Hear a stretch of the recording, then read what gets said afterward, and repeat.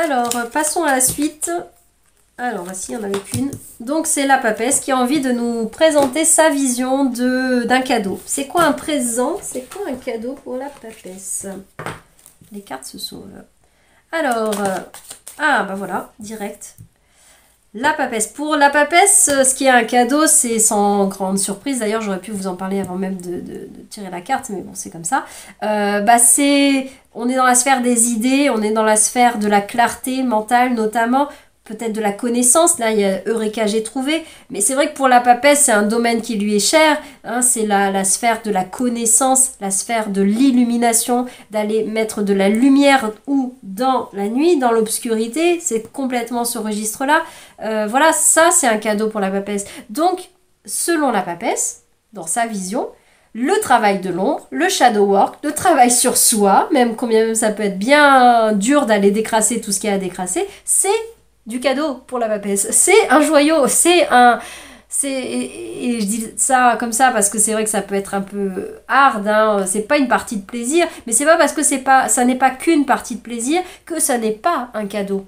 On se fait des cadeaux qui ne sont pas, tout cadeau n'est pas que un bonbon suave euh, enrobé de miel qui nous fait plaisir, qui nous fait du bien.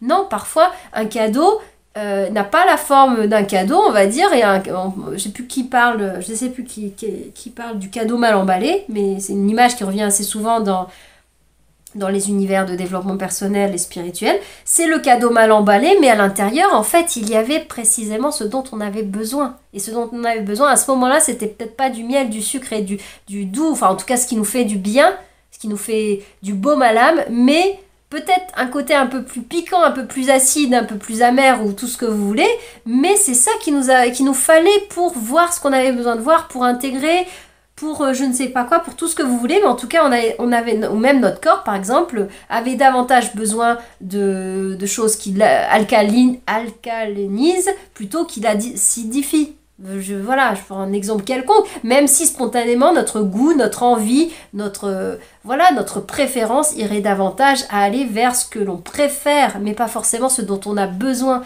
Et la papesse, ah, ça peut paraître un peu, euh, comment dire, un peu, un peu austère, un peu rébarbateur, hein, la papesse, hein, pas forcément super fun, mais elle vient nous dire, bah oui, ce n'est pas ce que je t'offre, ou en, tout cas ce que j'ai envie de te montrer par rapport à la notion d'un cadeau, ce n'est pas tant un cadeau, ce n'est pas tant unique, uniquement ce qui peut te faire plaisir ou ce qui te fait envie, mais ce dont tu as besoin, ce qui t'est nécessaire et utile. Euh, bah, dans la mesure où c'est le timing pour soi. Hein. Voilà, à un moment donné, si euh, on n'a pas envie d'ouvrir la porte à ça, on n'ouvre pas la porte, c'est tout. Mais c'est ce que la babesse, elle vient nous dire. Ouais, est temps de plonger dans les abîmes, euh, les abysses de soi-même, là, pour voir un petit peu ce qui, euh, ce qui s'y cache. Ou s'ouvrir à une dimension plus spirituelle également. Alors, non, je vais prendre celui-là, plutôt. Alors, la papesse. Qu'est-ce qu'elle veut nous montrer dans cette exploration, cette lueur? Quelle est cette lueur, là, au bout du, du tunnel, si on peut dire? Ça fait avancer, c'est ce qu'elle nous dit.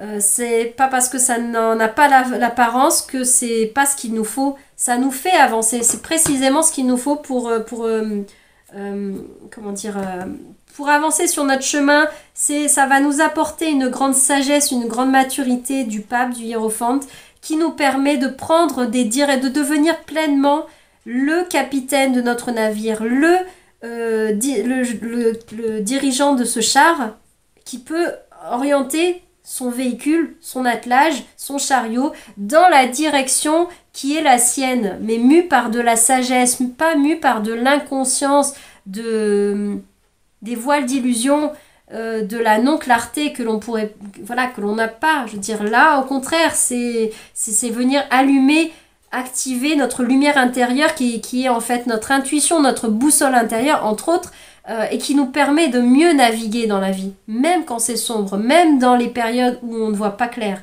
où les choses ne sont pas euh, visibles, lisibles, accessibles. Et c'est un cadeau en soi à se faire. Voilà. C'était ce que la papesse pouvait nous, nous, dire, nous amener là sur, euh, cette notion de, c'est quoi un cadeau, c'est quoi un présent, le, joyau qu'il y a dans un présent selon cette carte. Voilà, je vous dis à bientôt pour d'autres vidéos.